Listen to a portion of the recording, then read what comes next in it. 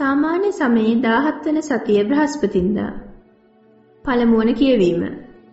Jeremiah දිවස් ප්‍රසාදිතුමන්ගේ පොතෙන්ගත් පාඨයකි. Jeremiah 18 වෙනි පරිච්ඡේදය 1 සිට 6 දක්වා. සමිදානන් වහන්සේ මෙසේ වදාළසේක. නුඹ නැගී කුඹකාරයාගේ ගෙට යන්න. එහිදී මාගේ පණිවිඩය නුඹට ප්‍රකාශ කරන්නෙමි. එකල මම කුඹකාරයාගේ ගෙදරට ගියමි. ඔහු සකපෝරුවෙන් වැඩ කරමින් සිටියේය. යම්කිසි විටක ඔහු අඹමින් සිටි මැටි බඳුනක් නරක් වූ කල ඔහු යලිත් ඒ මැටි බඳුනගෙන එයින් වෙන බඳුනක් තමා රිසිසේ සෑදුවේය. එකල සමිදානන් වහන්සේ මට මෙසේ වදාළසේක. එම්බා ඊශ්‍රායල් ජනේනි මේ කුඹකාරයා කරන ලෙස නුඹලාට කරන්නට මටත් බැරිද? මෙසේ වදාරන්නේ සමිදානන් වන මමය. ඊශ්‍රායල් ජනේනි කුඹකාරයාගේ අතේ තිබෙන මැටි පිඬක් මෙන් නුඹලා මාගේ අතේ සිටින්නෙහුය. දේව වාක්‍ය එසේය. දෙවියන් වහන්සේට ස්තෝත්‍ර වේවා. සුවිශේෂය සුවිශේෂක මතයතුමන් විසින් ලියන ලද දේව වාක්‍ය නම් මෙසේය. මතෙව් 13 වන පරිච්ඡේදයේ 47 සිට 50 දක්වා. ස්වර්ග රාජ්‍ය වනාහි මුහුදේ හෙළන ලද සීලු වර්ගවල මසුන් හසු කරගත් පැලකට සමානය. ඒ දැල පිරුණු කල දීවරයෝ එය වෙරළට හැද හිඳගෙන හොඳ මසුන් භාජනවලට එකතු කොට නරක මසුන් ඉවත දැමූහ. යුගාන්තයේදී එසේම වන්නේය. දේවදූතයෝ නික්මාවුත් දමිටුවන් කෙරෙන් අදමිටුවන් වෙන්කොට අදමිටුවන් ගිනි උදුනෙහි හෙලන්නෝය. එහි වැළපීමද දත්මිටි කෑමද වන්නේය. ඔබ මේ සියල්ල වටහා ගත්තුදැයි උන්වහන්සේ ඇසුසේක. එසේ යයි ඔහු කීහ. එවිට උන්වහන්සේ ඔවුන්ට කතා කොට එහින් ස්වර්ග රාජ්‍යෙහි ගෝලයෙකු බවට පත්වන යම් විනයදරයෙක් වේද ඔහු සිය ගබඩාවෙන් නවීන දේත් පැරණි දේත් පිටතටගෙන ගෘහ මූලිකයට සමානයයි වදාළසේක. ජේසුස් වහන්සේ මේ උපමා කියා නිම කළ පසු එතනින් නික්ම ගියසේක. සුවිශේෂ වාක්‍යසය ක්‍රිස්තුනි ඔබට ප්‍රශංසා වේවා.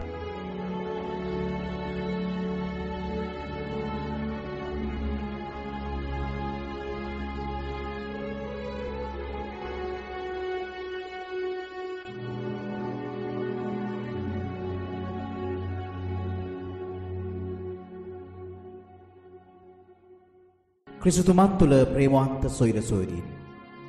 අද දවසත් ක්‍රිස්තුන් වහන්සේ මේ ලෝකයේ අවසාන විනිශ්චය පිළිබඳව බොහොම ලස්සන උපමාවක් අපිට කියනවා.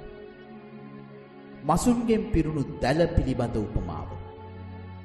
ප්‍රේමවන්තීනි අපි සමහර වෙලාවට මේ ලෝකයේ තුල ජීවත් වෙද්දී අපායක් තියෙනවද කියන දේ අපට මතක් වෙන්නේවත් නැහැ.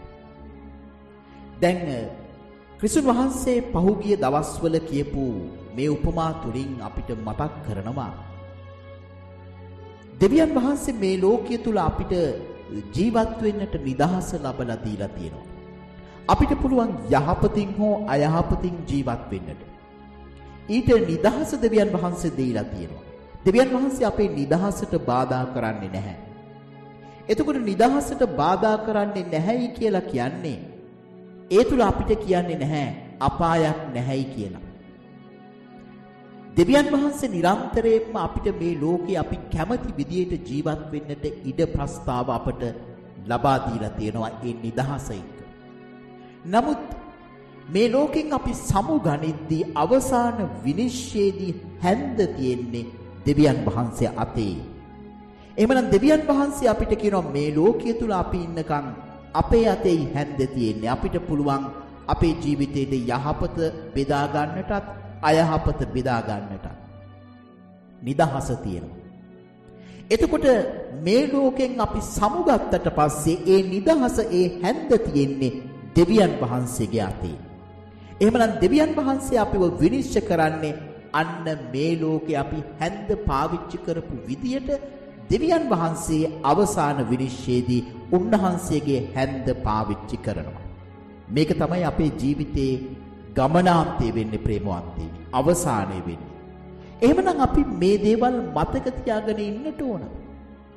අපිට මේ ලෝකයේ තුල පෙනෙන්නට නැහැ අපාය මොකක්ද ස්වර්ගය මොකක්ද කියලා.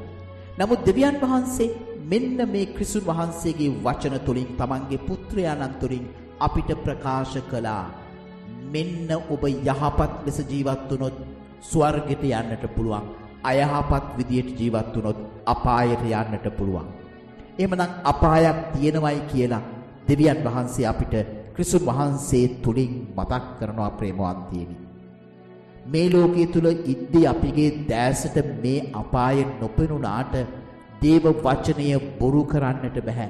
දේව වචනය ප්‍රලාපයක් වෙන්නේ නැහැ. ක්‍රිස්තුන් වහන්සේ කියපු දේවල් ඉටු නොවී තියෙන්නේ නැහැ ප්‍රේමවන්තයනි.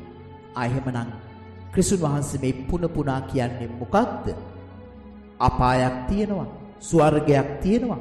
එහෙමනම් අපි මේ ලෝකයේ තුල අපේ නිදහස පාවිච්චි කරන විදියට තමයි ඒ අපාය හෝ ස්වර්ගය අපට හිමි වෙන්නේ. ඉතින් ඒක නිසා ප්‍රේමවන්තේනි අපි මේ දේවල් අපේ ජීවිතය තුළට ගන්නට උත්සාහ කරමු. අවංකවම බොහොම ගැඹුරින් යුතුව මේ දේවල් අපේ ජීවිතයට ගන්නට උත්සාහ කරමු. ඒ තුල ඒ ආකාරයෙන් අපේ ජීවිතය හැඩගස්ව ගන්නට උත්සාහ කරමු. එහෙම නැත්නම් අපි මේ ලෝකෙන් සමුගත්තට පස්සේ අපිට තැවෙන්නට ලත වෙන්නට වෙයි බොහෝ සෙයින්. ඊට ප්‍රථමයෙන් තමයි ප්‍රේමවන්තේනි ක්‍රිස්තුන් වහන්සේ අපිට මෙන්න මේ දේවල් ප්‍රකාශ කරන්නේ. එහෙමනම් ඒ ඔස්සේ අපේ ජීවිත ගොඩනගා ගන්නට අපි වෙරදරමු. ඔබට ජේසු පිටයි